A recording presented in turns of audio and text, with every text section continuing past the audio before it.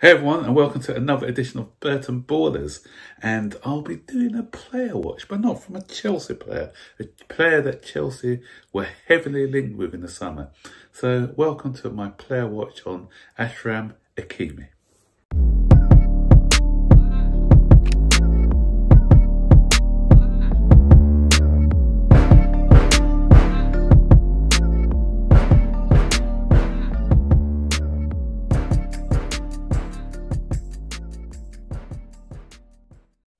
So guys, most of my player watches are going to be focusing on Chelsea players, but I may from time to time do like a player watch on maybe a Chelsea player is gone away, um, like for instance a Conor Gallagher or Livramento maybe, just to see how they're faring at their new clubs, or a player that Chelsea were heavily linked with. And uh, Achraf Hakimi was somebody who was the focus of a lot of our summer, where it was a tug of war between us and PSG who will get this particular player.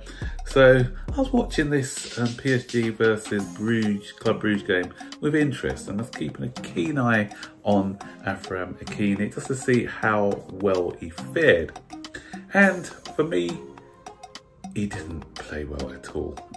I can't say we dodged the, dodged the bullet because I'm not one of these um, supporters who are, you know, reactionary and judge somebody on one game. I'll need to see him over a certain amount of games just to see whether um, it would have been a good buy for Chelsea or not. But on today's showing, not good, not good. Um, he was decent going forward in the first half, not so much in the second half, but what stood out for me is was his defensive frailties. I'm not sure whether it was a setup, what Pochettino, Pochettino employed, or just that he doesn't like to defend. You know, he's you know, a lot of us wanted him because we knew how good he was going forward. He's like a more of a winger, I'll say, or wing back than a playing in a back four.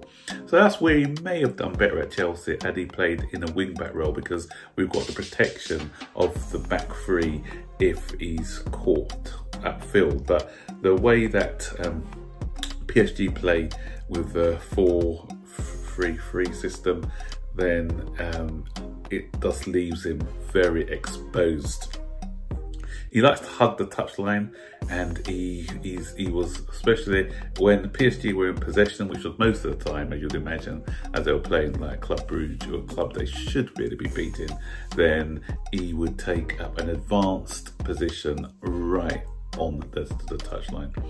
But um, Club Bruges, to their credit today, played superbly. They were closing down uh, PSG and once they got the ball, they were attacking quickly. And especially the first half, all their attacks came from the left side. And it was just that ball, they're playing the ball quickly down there. And because Hakimi was so far outfield, they were getting so much joy down that left-hand side. That's where the goal came from. And on another day, they could have got another two or three from that position. Um, but even when he did come back, um, his tackling was a bit weak and he got beaten so easily time and time again by the um, Club Bruges wingers.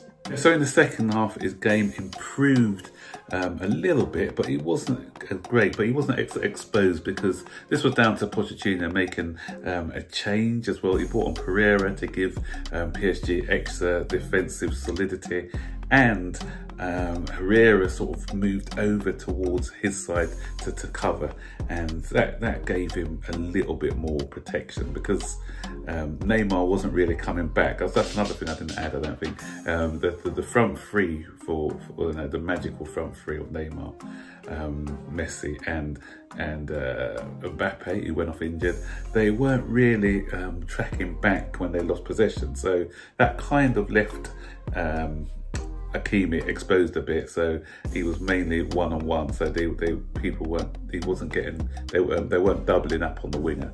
So and that's a, as I said, that's another factor for him not performing to, to his highest level. Yeah, I like the look of Nuno Mendes actually on the other side, left side. He came on as a substitute, but he he shows some blistering pace um, and he got in some decent crosses as well. So he's one to look out for. Um, young Portuguese uh, left back. Um, so although he was on for less than Hakimi, he caught my eye more than Hakimi did. But as I said at the start of this video, um, I'm not going to get too reactionary. This is just one performance. I'll judge him over the course of the season. But um, if you watch the match, not sure whether you're watching that one or whether you're watching the Manchester City game or the Liverpool game. If you watch this game, just let me know what your thoughts were on, on Hakimi. Um, it's going to be a big test for him in the, in the next uh, match day two because um, in two weeks' time, on Tuesday, Tuesday, 28th, I, believe, because that's when they um, they play, they host Manchester City. So it'll be interesting to see how he fares against Manchester City because um, if he gives the likes of who's on that side, Grealish, yeah, Grealish comes off the, the left, doesn't he? If, if he gives Grealish that much space, then then he's going to get destroyed. So I'd, I'd like to see how they set up, whether they're going to give him more protection down that side. So if you didn't watch the game, have a look at the game against Manchester City. Keep an eye on him, and yeah, let me you, uh, stick your comments in in the comment section below on how you think he fared. So that's my player watch video over. I'll see you when I make my next one, I don't know when yet. So look out for my next video. Take care, guys. Bye bye.